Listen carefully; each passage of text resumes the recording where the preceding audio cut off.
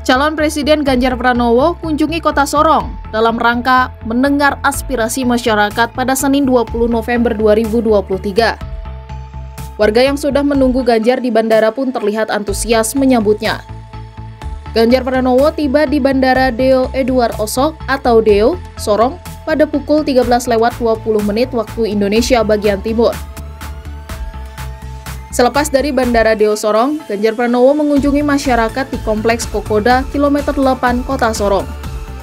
Sesampainya di kilometer 8 Kompleks Kokoda, di hadapan Ganjar sejumlah warga menyampaikan aspirasinya. Ganjar mengatakan kebanyakan aspirasi dari mereka berisi tentang pendidikan, akses pendidikan, dan masih banyak lagi. Kami mendengarkan apa yang menjadi masukan-masukan mereka. Insya Allah akan kita coba bantu yang tadi disampaikan.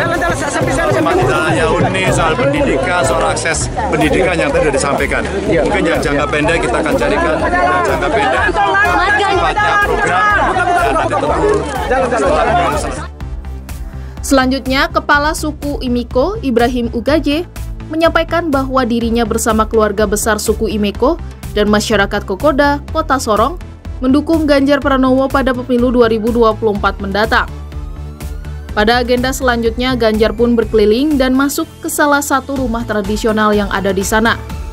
Usai keluar dari rumah tradisional tersebut, terdengar riuh warga memanggil Ganjar dan banyak mengulurkan tangan untuk sekedar menyalami mantan gubernur Jawa Tengah itu. Selama berjalan-jalan di Kokoda, Ganjar juga disambut dengan iring-iringan tari tradisional dari warga setempat.